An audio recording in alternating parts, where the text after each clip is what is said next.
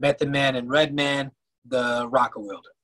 All right. I feel like it's going to be a hop, as in just factors in turning into a full concert of me walking that hallway. Anybody ever catch the video?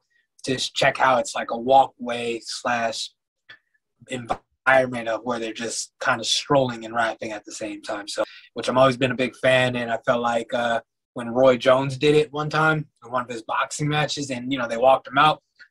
Future goal, obviously, is to get those two to be able to walk me out, and you know, and make it a full concert. So just check it out for this weekend and a future one with them actually live pushing forward.